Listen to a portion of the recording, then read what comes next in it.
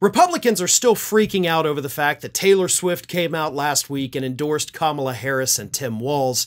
And now they are begging people to please don't get your political advice from a celebrity. How dumb is that, they're telling us?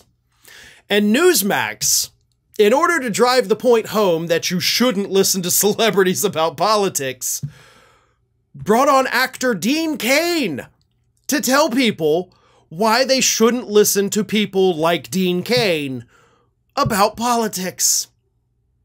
I wish I were making this up. Like, this is something out of The Onion at this point. Like, right wing celebrities tell people don't listen to celebrities about politics. That seems farcical. That seems so absurd that there's no way it's true, but it happened. Here's the way it went down Newsmax host brings on Dean Cain to talk about why do people listen to celebrities? Let's ask a celebrity, or, you know, a D list celebrity.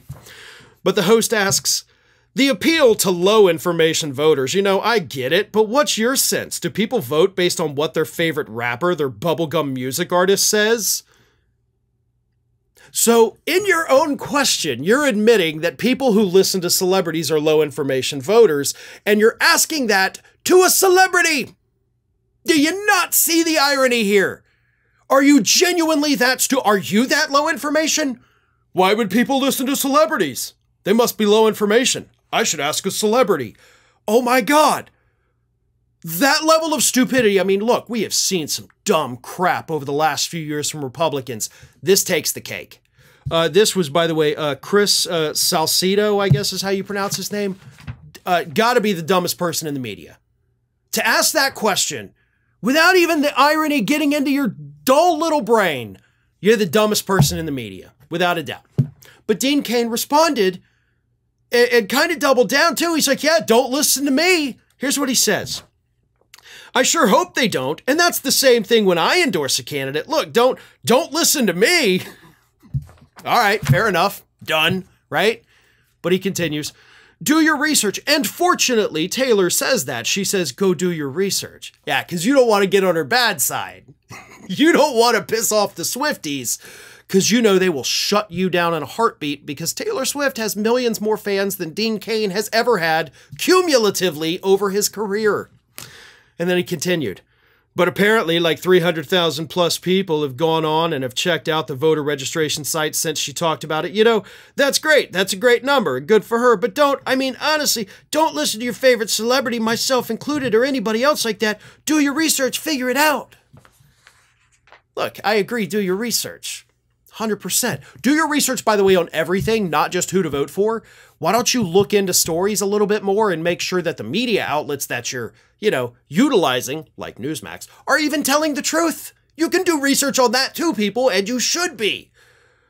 But again, who are the party, who is the party, I guess I should say, uh, that repeatedly brings on celebrities to talk about the news of the day? It's the Republicans. You guys bring on Dean Cain, you bring out Scott Baio. You had Hulk Hogan introduce Trump at the RNC. You bring on whoever that wrestler is that always brings the belt onto Fox News, the big fat guy, uh, Kid Rock. You have him on the news shows talking about news of the day, Ted Nugent. You guys are the ones that are trying to shove celebrities down our throats. You don't see Taylor Swift going on MSNBC every couple of days. George Clooney's not sitting down with uh, Joy Reid to talk about the news of the day. Maybe it's because left wing celebrities actually have careers they need to, you know, work on. Or maybe it's because we're actually not putting as much stock into what celebrities say as Republicans would like to have everybody think. You guys are the ones that are parading celebrities out there trying to sway voters. And hilariously enough, you're not only blind to the irony of it, it's also not working at all because nobody cares about these D list right wing celebrities, and they sure as hell don't care what they have to say. America's Lawyer has launched its own YouTube channel. Now, this channel, of course, is still in its early phases of development, but you can help grow it by subscribing. Just go to youtube.com slash The America's Lawyer, and you'll get all of the great content from Mike Papantonio and myself that we produce every single week.